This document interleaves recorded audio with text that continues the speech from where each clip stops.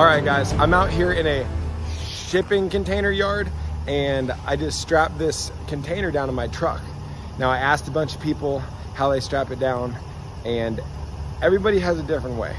But I'm just gonna, I'm, I'm gonna pull out of here because I don't wanna offend anybody and then I will uh, let you know how I strap down a shipping container.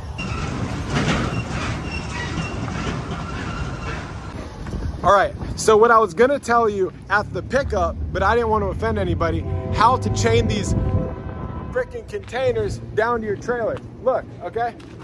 This is how they connect them to the, to the semi trucks. So just one chain through both of those, and then in the middle, right there, okay? In the middle, tighten it down with a ratchet binder. In the back, let's go to the back, same thing. Tighten it down with a ratchet binder in the middle, okay? Just use one chain. Just use one chain. Yep, and see, don't just take my word for it, okay? No straps. Boom. One chain binder. That's how you do it. One chain up front, one chain in the back.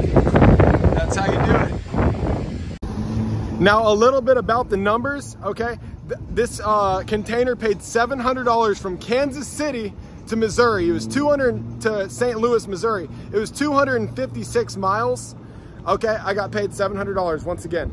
It was 273 a mile. Normally, that's not that bad of a rate, okay? But here's the thing. I can't partial out anything on my trailer.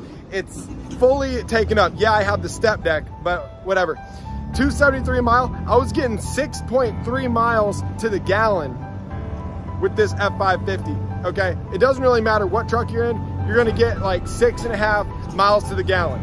So I'm gonna let this guy take me off, uh, unload me. But anyways, guys, that's a little bit about containers and I'll see you in the next one. Peace.